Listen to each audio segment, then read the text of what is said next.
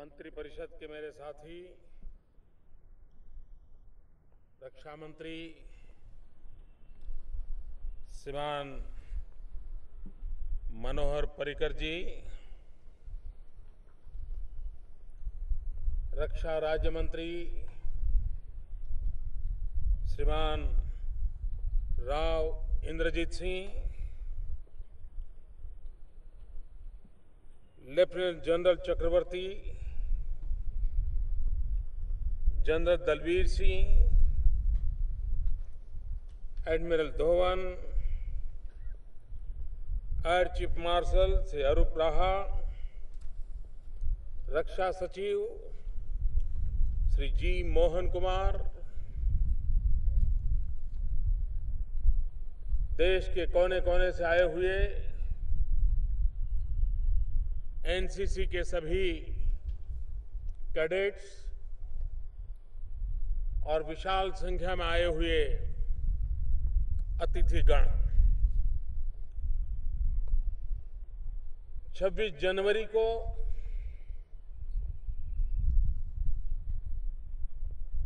प्रजासत्ताक पर्व का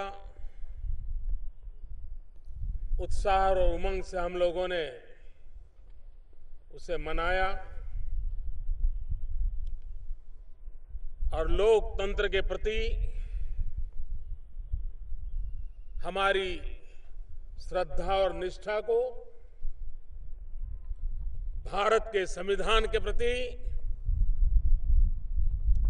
हमारी आस्था को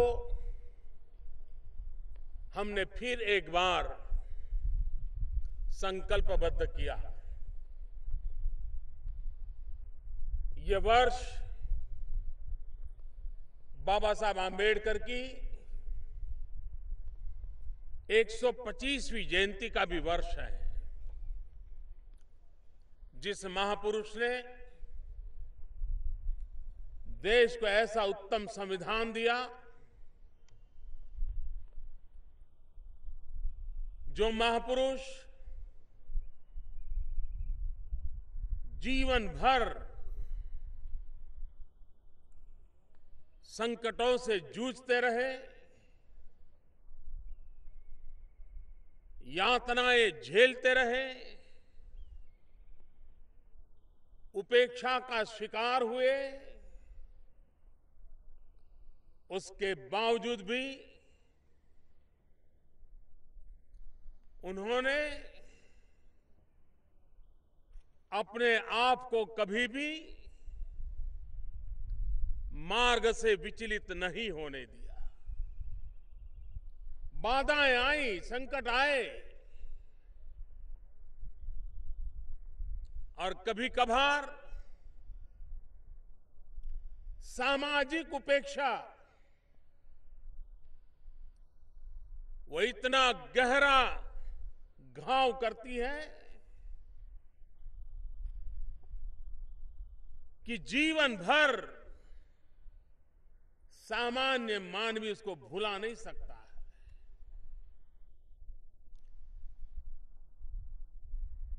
लेकिन बाबा साहब आम्बेडकर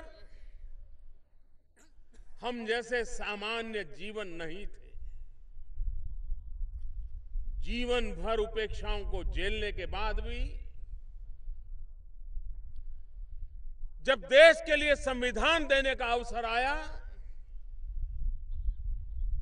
उस संविधान के किसी कोने में भी किसी के प्रति दुर्भाव नहीं है। बदले का भाव नहीं है। ऊपर से जीवन भर जो झेला था,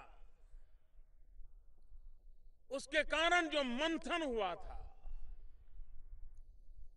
उस मंथन में से संविधान रूपी अमृत निकाला था, जो आज हमें प्रजासत्ताक पर्व के इतने सालों के बाद भी, आज़ादी के इतने वर्षों के बाद भी, हमें बांधने में, कंधे से कंधा मिलाकर चलने में, देश के लिए अपनी अपनी जिम्मेवारियाँ निभाने के लिए,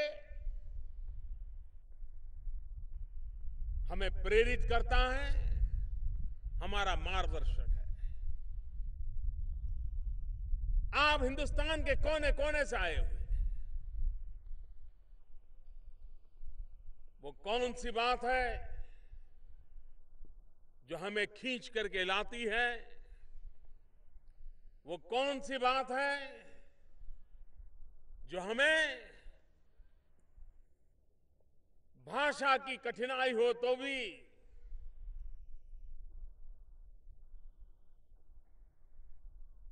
वेशभूषा अलग हो, रहन सहन अलग हो, उसके बावजूद भी एकजुट रहने की ताकत देती है,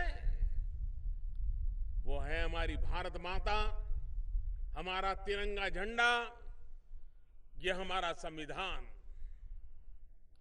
और सवा सौ करोड़ देशवासियों के सपने उनकी आशा, आकांक्षा, इच्छा हमें कुछ करने की प्रेरणा देती है।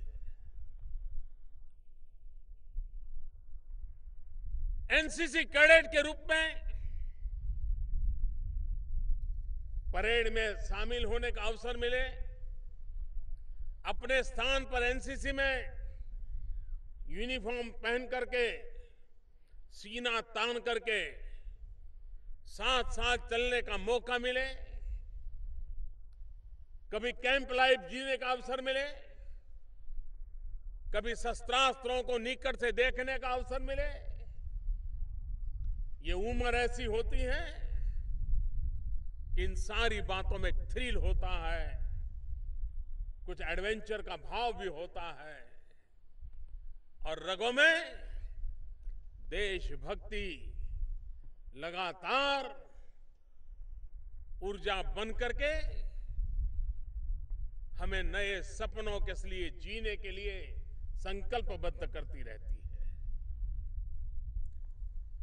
जब आप 26 जनवरी की इस परेड के लिए एक महीने से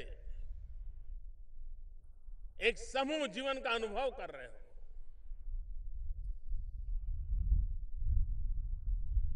ये तो कठिनाई रहती होगी कि सुबह तीन, साढ़े तीन बजे उठना। मन करता है इतनी बड़ी ठंड में थोड़ा सा लंबा सो ले, लेकिन जुगल बत्ता है बीसल बत्ती है, चल पड़ना होता है। शुरू के पाँच, दस मिनट तो ऐसे ही चले जाते हैं करे क्या दिन निकलेगा। लेकिन जैसे ही रिधम में आ जाते हैं, फिर मन करता है इस रास्ते को छोड़ना नहीं है। और यही यही ज़िंदगी की ताकत होती है। कुछ पल भले ही उलझन रहे,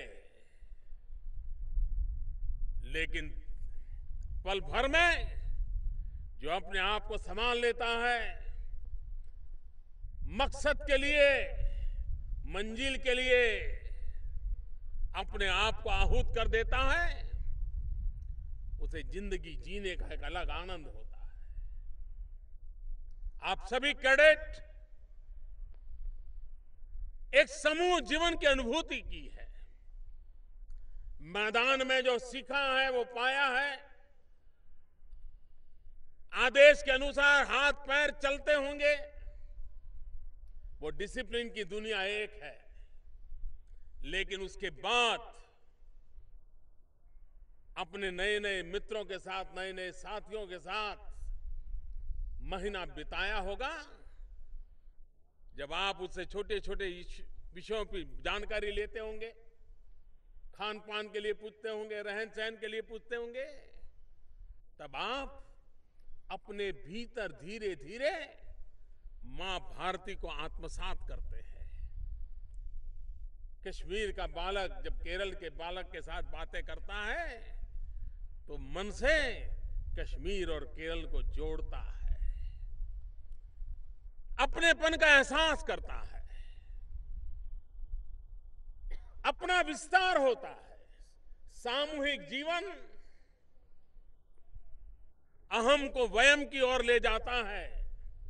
स्व को समष्टि से जोड़ने का अवसर प्रदान करता है।